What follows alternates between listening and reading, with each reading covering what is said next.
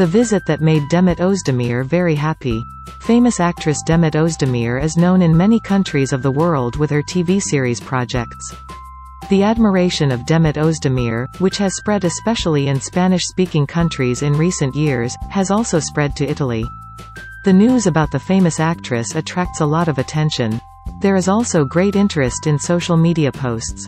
Demet Özdemir, who also participated in the broadcast of Canale 5 television in Italy in October 2020, was very pleased with the interest she received from her fans.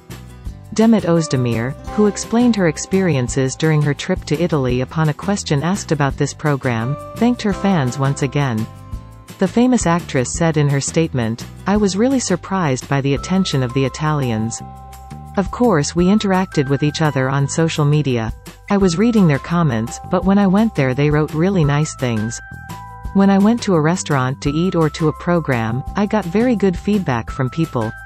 After all, social media the media makes you believe to a certain extent, but going there and seeing it live really makes you proud.